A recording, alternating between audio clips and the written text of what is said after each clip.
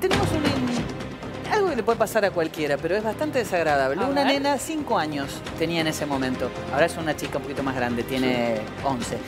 Estaba en el colegio jugando en Jardín de Infantes, corriendo en el patio, se resbaló, se cayó, se fracturó, tuvo una doble fractura de codo, inmediatamente llamaron a emergencias, inmediatamente intervino eh, una, una guardia médica, hubo que operarla, va a haber que operarla dos veces más adelante porque tiene una lesión importante, se cayó muy mal, la verdad.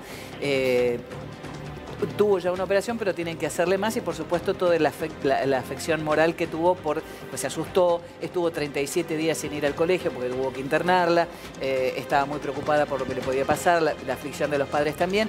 Todo eso terminó desembocando en una, una indemnización de aproximadamente ahora con los cálculos y los intereses aplicados después de seis años de un millón y medio de pesos. Pero el tema es, a mí lo que me interesaba era ver si qué, opinan ustedes con respecto a esto. La, la aseguradora dijo, son cosas que pasan, porque había, un, había maestros cuidando a los chicos en el patio, sí, había. ¿Cayó algo de algún lugar? No, no cayó nada. ¿Alguna de las hamacas donde la nena jugó se rompió? No. Un accidente. Bueno, es un accidente, entonces ¿por qué tenemos que responder por algo? A mí me gustaría saber qué opinan ustedes con respecto a esto. Es decir, no hubo una falla del colegio, realmente estaban los maestros para cuidar, nada se que no había, el, el, piso no estaba roto para que la nena se cayera, no estaba mojado. Nadie tuvo intención que le pase nada Exacto. tampoco. Por eso, esa fue la intención de disculparse de, pagar, pero si ustedes fueran, bueno, algunos de ustedes son padres, pero eh, es una cosa que puede pasar. Mm. Eh, no hubo nada fuera de, lugar. Había alguien cuidando, no había nada roto. ¿eh? Bueno, se cayó, corrió y se cayó.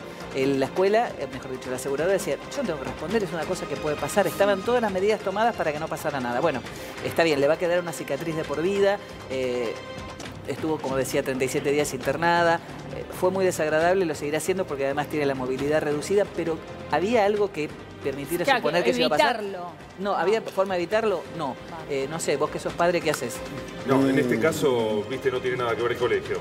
Bueno, así todo se lleva con un, se lleva un millón y pico de pesos, pero eh, de todas maneras la, internación y la cicatriz y la imposibilidad de mover eficientemente el codo el resto de su vida es para la nena que tenía cinco años en ese momento, está en el jardín.